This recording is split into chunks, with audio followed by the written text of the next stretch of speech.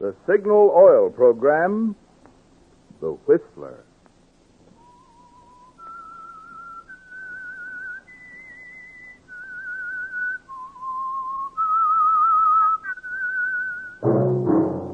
That whistle is your signal for the Signal Oil program, The Whistler.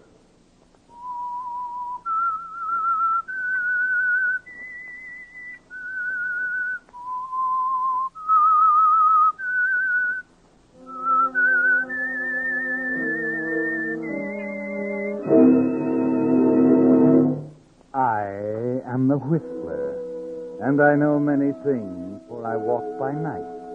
I know many strange tales hidden in the hearts of men and women who have stepped into the shadows. Yes, I know the nameless terrors of which they dare not speak. Yes, friends, it's time for the Signal Oil program, The Whistler. Rated by independent research, the most popular West Coast program. In gasoline, you know, it takes extra quality to go farther. And Signal is the famous Go Farther gasoline. So look for the Signal circle sign in yellow and black that identifies Signal service stations from Canada to Mexico.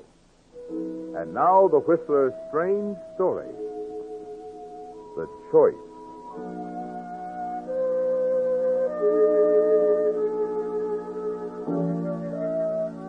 When the door of his office opened, Mark Fallon didn't have to turn away from the window to know that it was Harry Cheng coming in for more of the vouchers. It had happened so often during the past five weeks that the sound of Cheng's shuffling walk was sandpaper on Mark's nerves. So instead of turning, he sat for a moment, looking out through the gold lettering that spelled Wu Feng Importing Company on the window looking down onto Grant Avenue, where they were putting up the first decorations for the Chinese New Year celebration. Then, when he was sure he had enough control to make his approach seem casual, he idly swung in his chair and faced the little bookkeeper. Oh, hello, Chang. You back again? Yes. Mr. Wu said I could check some items on one of the files. Is it all right with you? Sure. Mr. Wu's orders. I'm only the office manager here. But I'm afraid uh, Sammers was locked up for the night. Then perhaps you'd rather I waited till morning. No, makes no difference to me. I'll get Samuel. Uh, Sammy, bring in the keys, will you? Harry Cheng wants to get something out of the files. Yeah. He'll be right in. Thank you. Forget it. By the way, how's your uh, research coming? Research? Oh, sorry, maybe I shouldn't have said anything. Uh, but everybody knows you're going through the files systematically, and everybody knows why. My brother didn't steal that money from the company, Mr. Fallon. If I can find the evidence that will get him out. Yeah, sure, I know. Only the jury said he was guilty, Chang. Oh, uh, come on in, Samuel. Yeah. Oh, hello, Chang. More files? If you please. Oh, sure. Yeah, let me see now. You want the uh, Carter file. How did you know that, Mr. Samuel? Uh, I. Oh, uh, Samuel's just happened to notice that the uh, last file you had out was uh, Carson, C A R S, uh, C A R T. Uh, Carter'd be next. Yeah, yeah, that's it. Unless you're taking the skipping around the alphabet. I didn't think of skipping around. But perhaps it is a good idea, if you don't mind. Huh? Well, uh, no. No, we don't mind. What file do you want? I think I will start on Randall. Randall. Well, sure. Sure. Uh, Samuel's getting Randall. Yeah, right away. Oh, here we are. Will that do it? Yes. Thank you. Thank you both. Good night. Good night, Chang.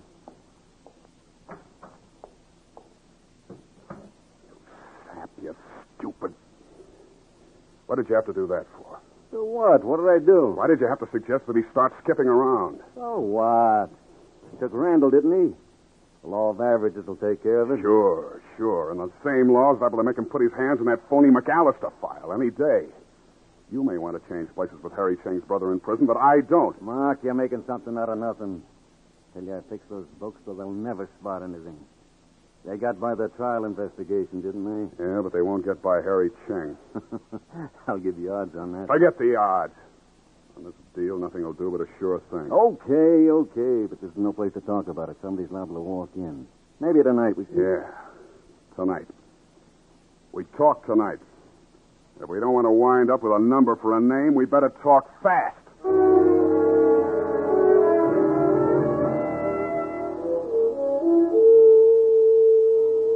Yes, Mark, the time for fast talking has come sooner than you expected. But then, you should have known you were in for trouble the day Harry Cheng started going through those records. When it was ABC, you had time before he'd reached Samuel's forgeries in the McAllister account. But now it's almost as if you could feel his fingers around your throat already. And something else you've noticed. Samuels is calm about it. Almost too calm. And when he comes across the hall to your apartment later that evening, he brings his girlfriend, Lena, with him. Well, Mark, darling, what is this? No drink, no bright thing? Don't mind him, Lena.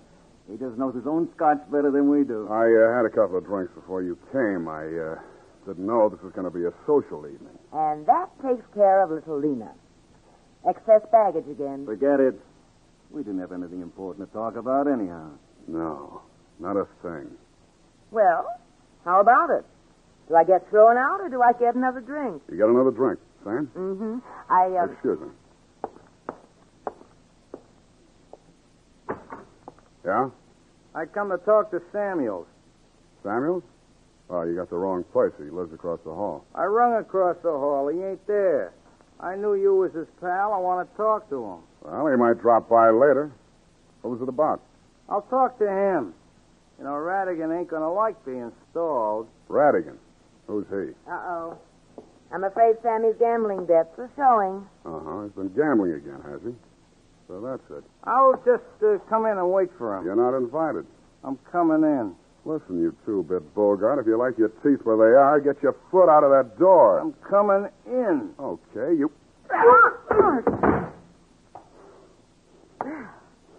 Mark, darling. The things I didn't know about you till now. forget it. Don't you know? I don't want to forget it, Mark. Mark, what is this? What happened? This is it, Samuels. This is too much.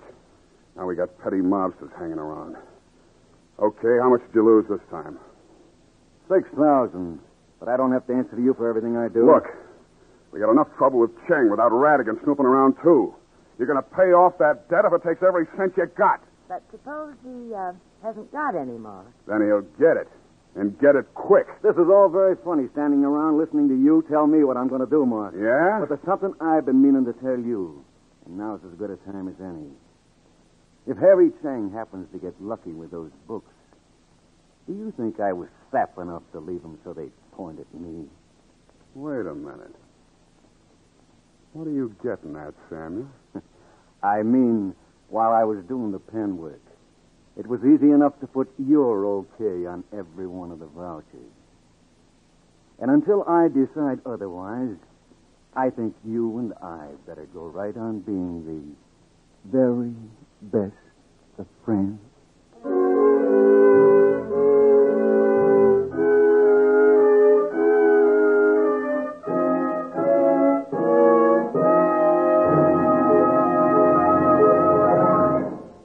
Prologue of tonight's story, The Choice, the Signal Oil Company brings you another strange story by The Whistler.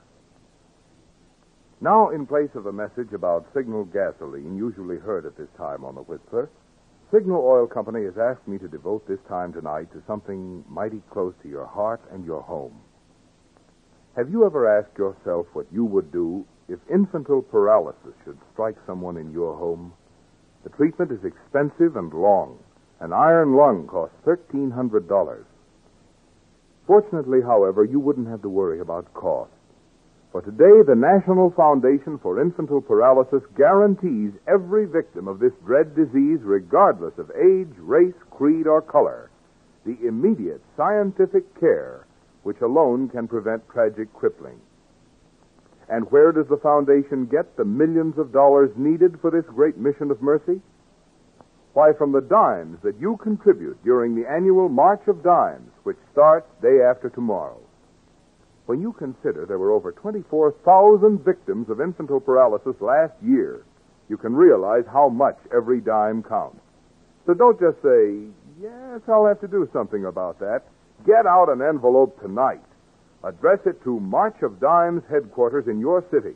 Drop in a few dimes or a few dollars, whatever you can spare. Then mail it tomorrow morning. Infantile paralysis strikes suddenly. Let us be as quick in our cooperation to stamp it out. And now back to the Whistler.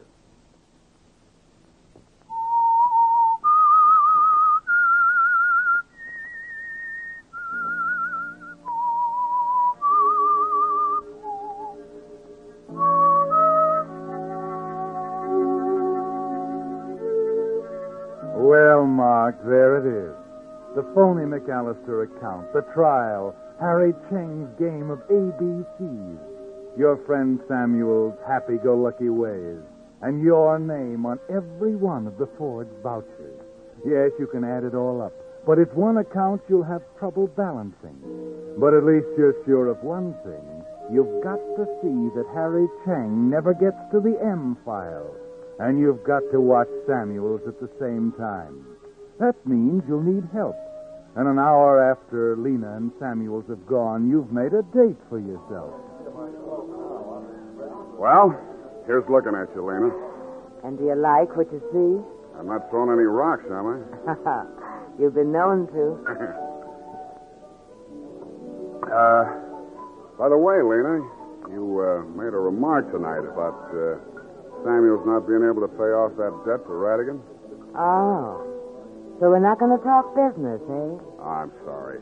Skip it if you want to. I was just curious. Well, of course, I wouldn't know Sammy's personal affairs, but oh, there was the cutest little bracelet I wanted. And then we we haven't been going many places lately. Well, we uh, we ought to do something about that. You probably could go places with the right guy, and uh, you're the kind of a girl who should have cute little bracelets. Well, tell me more. Oh, it's uh, just that if we were real nice and helpful to each other, Lena, this might be the beginning of a beautiful friendship. You know something, Mark? I'll drink to that.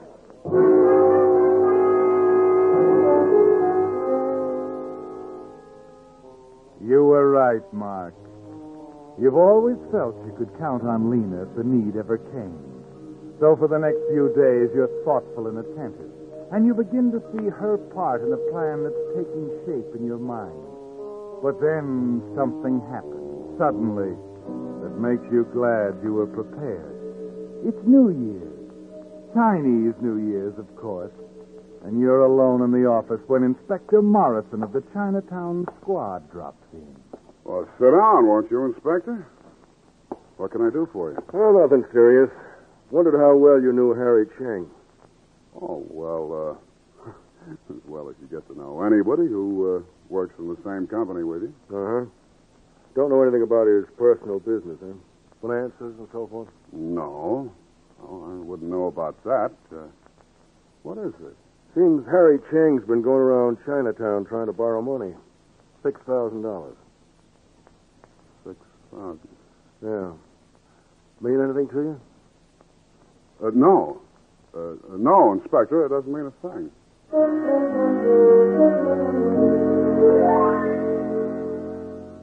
But it does mean something, doesn't it, Mark? Yes. Six thousand. It couldn't be coincidence that it's exactly the same amount Samuels owes Radigan.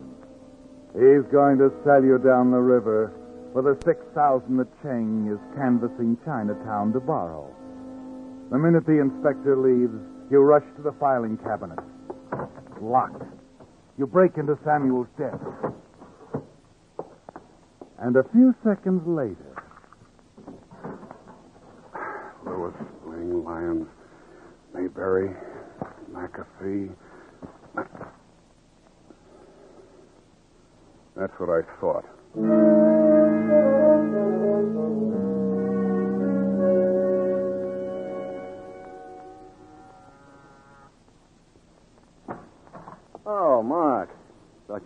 Office. Come in. All right, Samuels. Hand it over. What are you talking about? And what? A over? file. And if you say what Wait a minute, file, Mark. It's gone? stop stalling. Hand it over. Mark, so help me. You took it, Samuels. Come on. Give Mark, for the love of... I haven't got it. Believe me, I haven't got it. You've already turned it over to Chang. I ought to kill you for this, Samuels. If I don't get that file back, maybe I will. Stick around, Samuels. We'll have a little talk when I get back. Where you going? Never mind. But you're not here when I get back, I'll. Oh. Uh, hello, Inspector. Hello, Fallon.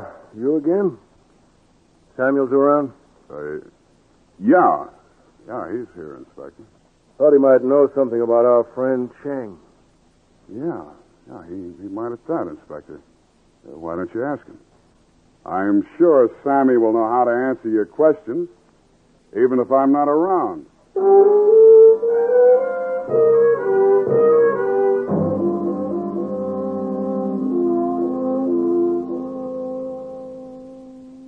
This is a surprise, Mr. Fallon. I hope you will excuse the state of my room. Oh, sure, it's okay, Chang. Matter of fact, I really thought you'd be out celebrating New Year's. I have work to do. Yeah? Oh, I see you're still working on the Randall vouchers. You need them at the office? Uh, no, not these, Chang, but I, I was looking for a few of our other old accounts. I thought you might possibly have them here. The, uh, the McAllister file, for one. No, I don't have it, Mr. Fallon. So I see. Well, uh, what's that? Firecrackers. Oh, yeah. Almost forgot. The children have been dropping them off the roof of the building across the way. You can see them up there now. Yeah. Say, that's uh, kind of a dangerous place for kids, isn't it? They try to keep them off, but they get up by the fire escape in the rear. Children have no fear of danger. Uh, no, I guess they don't. Uh, well, uh, Happy New Year to you, Cheng. Uh, see you at the office in the morning.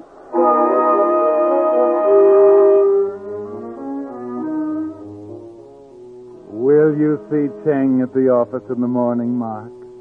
You didn't find the McAllister vouchers, but you found something else as you stood staring at the roof across the way. The sharp noise of the firecrackers popping in your ear. The plan isn't hazy in your mind anymore, is it?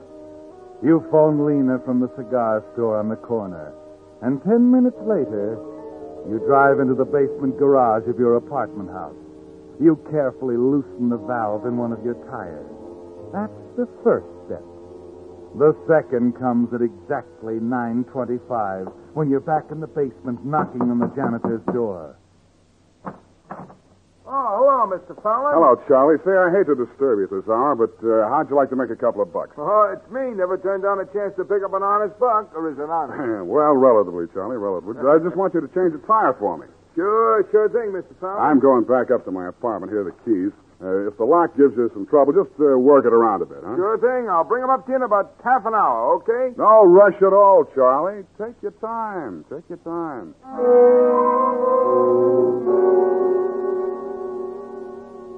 Yes, by all means. Take your time. You're counting on that, aren't you, Mark?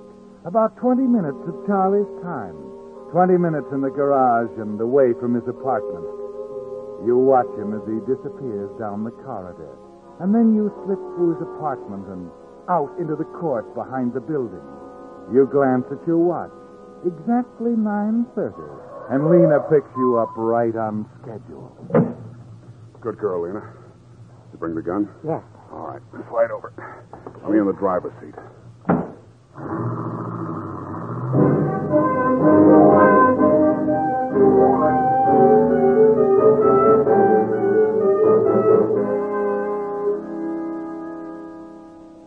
Yes, Mark, you're in the driver's seat now, and you're going to make sure you stay there.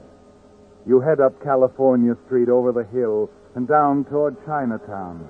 Then, while Lena waits in the car, you thread your way through the crowds on Grant Avenue, more conscious of the cold steel in your pocket than you are of the dancing dragon and the firecrackers and the confetti.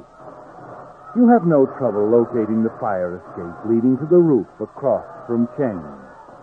Then you're looking across the gun sight, across the 30 yards that separate you from the figure bent over the books at the desk.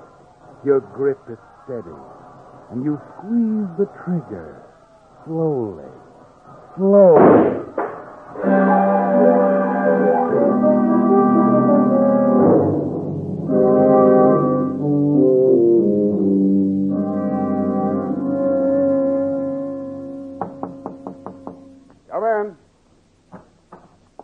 About your keys, Mr. Fallon? All set? Oh, you finished already, huh? Well, you made it fast, Charlie. Yeah, it would have been faster, but I had trouble with the lock, like you said. Yeah, well, thanks a lot. Here you are, Charlie. Hey, this is five bucks, Mr. Fallon. I know. Keep it. You did me a big favor. Oh, that's darn nice of you. Good night. Good night, Charlie.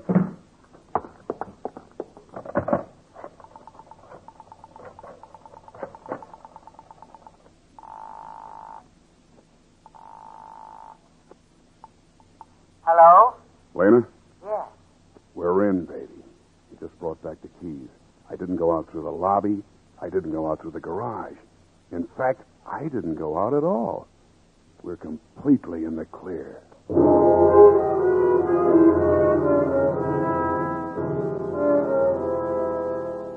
in the clear. And it was so simple.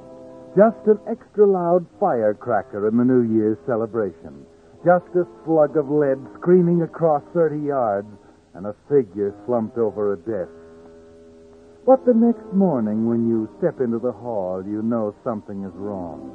The hall seems to be swarming with policemen, and standing before the open door of Samuel's apartment, you recognize Inspector Morrison. Oh, good morning, Inspector. What's going on? Good morning, Fallon. I was just coming over to see you See me? Why? about a friend of yours. Oh, are you still checking up on Harry Cheng? No, this time it's about Samuels. Samuel? What about him? He was murdered last night. What? What did you say? He's dead, Fallon. I thought you might want to come down to headquarters and talk about it a little while. Well, look, uh, I don't know anything about it. You were a pal of his, Fallon.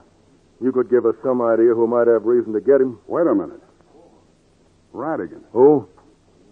Sure, Inspector. I might be able to tell you who had reason to get him. Shall we go down to headquarters now? So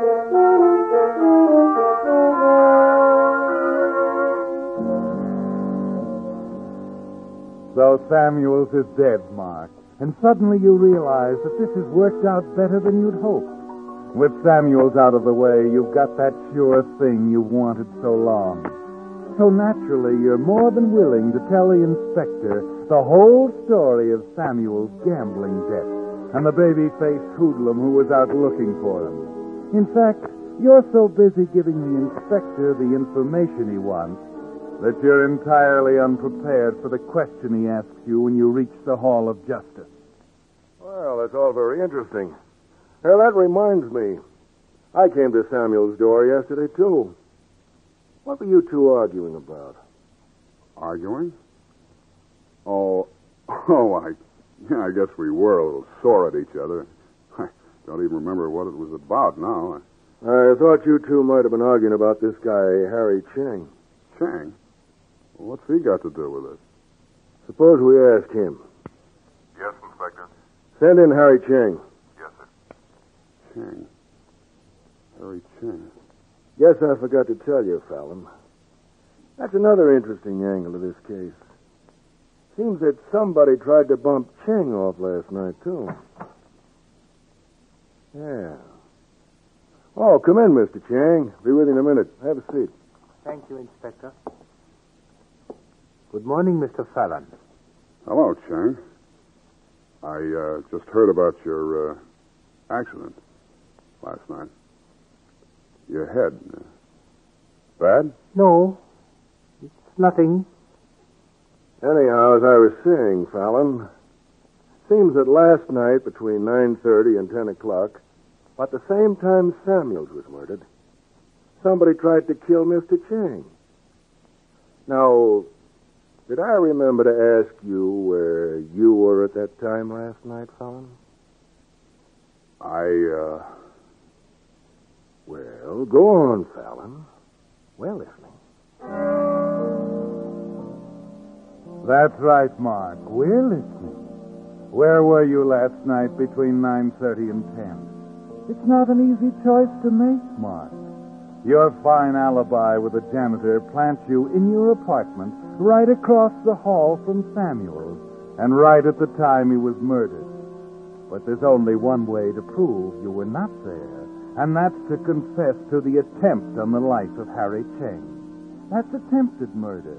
One to five years in prison. But isn't that a lot better than murder in the gas chamber? It's up to you, Mark. Name your own poison. Well, how about it, Fallon? I haven't heard you say anything yet. I, uh, was out last night. I see. Out. That's not an awfully good start, Fallon.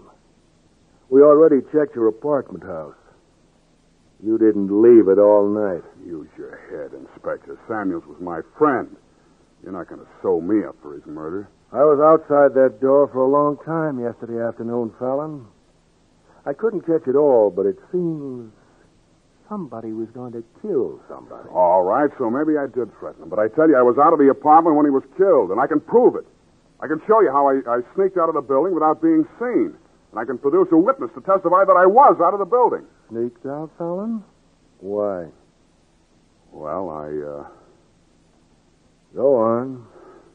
you don't leave me much choice, Inspector, but you might as well have it straight.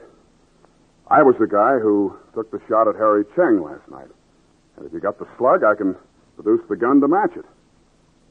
Will that convince you? I'd say it was a step in the right direction. Where do we start looking for the gun? You can get it from Lena Merrick, 384 Palmer, apartment 3.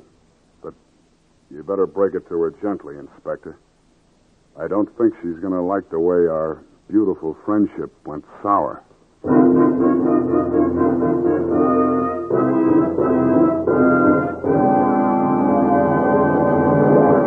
The Whistler will return in just a moment with a strange ending to tonight's story. Has your car been acting different lately? well, it has if you're a Signal customer, because Signal gasoline is now better, much better than even a few weeks ago. You see, the ingredient necessary for higher octane in gasoline has become more plentiful, so the octane rating of Signal gasoline has been raised. Not just a little, mind you, but a lot which means you'll now enjoy even smoother, knock-free power as you take those steep hills in high. Yes, you're going to like the new driving pleasure in today's improved Signal gasoline. And you're going to like the mileage, too. After all, you know, a gasoline that gets more efficiency from your motor naturally gets more mileage from each gallon. That's why we say, in gasoline, it takes extra quality to go farther. And Signal is the famous Go Farther gasoline. And now, back to the Whistler.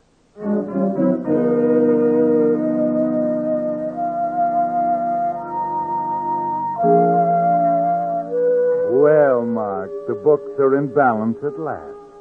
There was really only one choice you could make, wasn't there? Too bad to tear down that beautiful alibi of yours. But it's going to keep you out of the gas chamber. Of course, you wonder if it might have been better just to let Harry Cheng go on with his game of ABC. But it's too late to worry about it. All you can do is dictate your confession to the police stenographer and wait for the inspector to get back from Lena's with the evidence. Uh, come on in, Chang. We'll need you, too.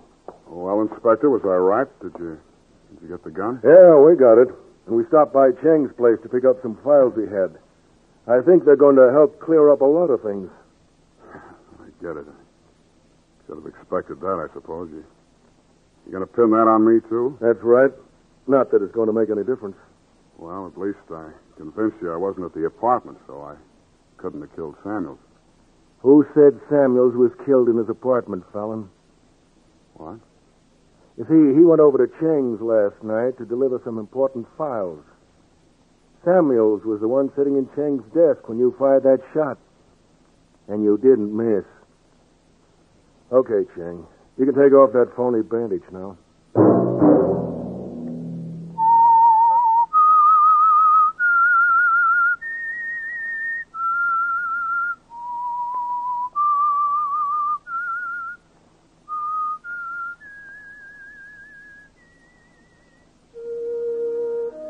That whistle be your signal for the Signal Oil program, The Whistler, each Monday at 9. Brought to you by the Signal Oil Company, marketers of Signal gasoline and motor oil and fine quality automotive accessories.